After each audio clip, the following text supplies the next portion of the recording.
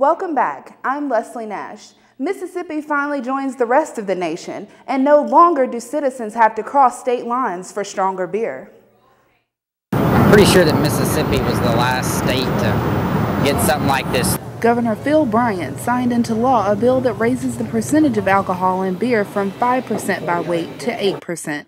This increase will allow for a wider selection of beer.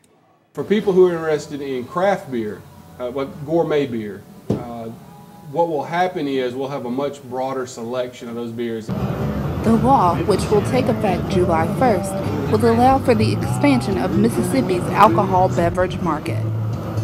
We'll slowly start adding brands to the state, um, and hopefully the craft beer culture in Mississippi will grow the way it's grown in other states. Local businesses like the Keg and Barrel will have access to many different types of beer, which will bring in more customers and more revenue for the state. A lot of my customers are kind of downtown people, and they're really passionate about keeping their dollars in the state. Some Mississippi residents have to drive long distances to get their favorite craft beers. You go to New Orleans, Birmingham, Mobile, uh, Houston, Atlanta, and spend quite a bit of money on, on craft beer. Resident David Campbell has driven out of state for beer, and he is excited about the new law. He believes the new law will increase the revenue for the state, it will increase tourism to the state, uh, believe it or not, and it will also create small businesses. This potential growth in business, tourism, and beer selection has residents thrilled. I'm glad that we're going to have a little bit more of a selection now, more of a choice. Reporting for Hub City TV, I'm Leslie Nash. Joining me on set to discuss the Raise Your Pint movement are John Neal, the owner of the Keg and Barrel, and Butch Bailey, the founder and president of Raise Your Pints. How are you, gentlemen, this afternoon? Doing great. Excellent. That's good.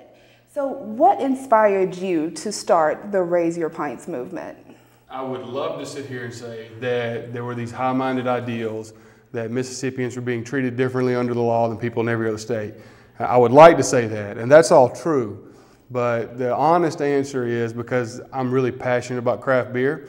I like craft beer, and I was sick of driving to other states to buy it. And I thought, you know what, if people can do this in other states, we can do it in Mississippi. Let's lobby our legislature and get these laws changed. How will this law affect Mississippians? The first thing they'll notice is when they go to the store and they look at their beer selection, there'll be more brands to choose from. The brands that are here currently won't change in any way. Your Bud, your Bud, Miller, Coors, those aren't going to change but you'll have more options available to you, which means that business owners have more options of products to sell. They'll see more revenue because these products tend to be more expensive anyway. And eventually, we hope to see new businesses opening in Mississippi, new brew pubs, new breweries, and so forth. And why do you think it took Mississippi legislators so long to pass a bill like this? I get asked that a lot, and the honest answer is because the, the biggest hurdle in politics is inertia. It's hard to stop a train when it's moving, and it's hard to get a ball, a ball rolling in the first place. And Mississippi changes slower than a lot of places. So it just took some time. You have to build those relationships. You have to gather your facts. And you have to be really careful about how you lay those facts out. And uh, you just got to stick at it a long time. And how has social media propelled this movement? It's, it's been the lifeblood of Raise Your Pints. I, I know that movements like ours obviously existed before social media, but I can't wrap my brain around how they operated. It's literally been everything to us. Facebook and Twitter have allowed us to reach out to our members, to plan events, to fundraise, you name it. We live on social media. And John, as a brew pub owner, what does this new law mean for your business? Well, it actually doesn't mean much for the brew pub um, currently. We're um, that will be the, the next um, the next legislature will, will get involved with, with more brewpub um, um, initiatives. But just, you know, as a, as a business owner, just being able to, you know, provide these products to my customers that have been leaving the state. Um, you know, we've been open seven years, and for seven years, you know, obviously, you know, before that, we've had, you know, we've lost a lot of revenue. People going to uh, Texas, Louisiana, Florida to buy these craft beers that they, they can't get in Mississippi. Okay, and now that you have the same alcohol content or alcohol by weight as other states, how does how is this going to affect your interactions with other brew pubs as far as competition between different types of brews? How will it affect that a competition? Well, it's positive. I mean, everything. I think competition is a good thing. I mean, there'll be a, a lot more you know beers to choose from. Um, again, you know, brew, there's there's only one brew pub in the state, and th that's me. Um, I'd love to see three or four brew pubs in Hattiesburg and, and you know 50 or 60 or 100 in the state.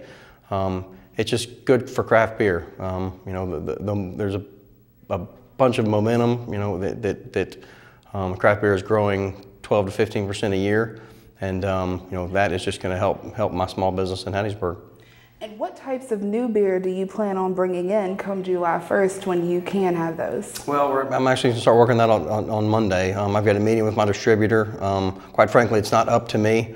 Um, the distributors are actually who bring the beer in. So um, we've got a great relationship with them. I'll, I'll um, talk with them, and then I'll call you know uh, breweries around the country and see if they're interested in coming uh, to the state. But obviously, they, they have to form those relationships with the distributors first.